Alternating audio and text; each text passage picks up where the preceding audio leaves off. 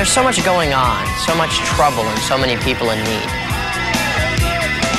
It's easy to just turn away and think about the things you want to think about.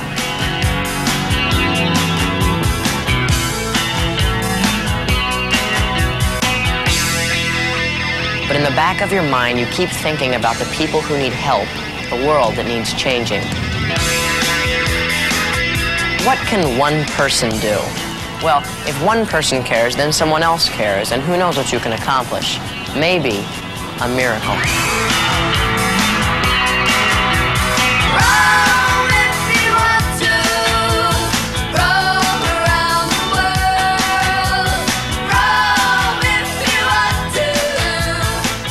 Hi, I'm Neil Patrick Harris. That's right, I'm not a doctor, but I play one on TV.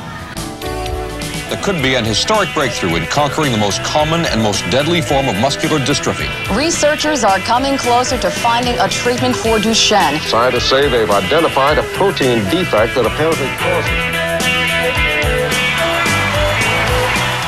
But to finish the job, they need you, your caring, your human energy.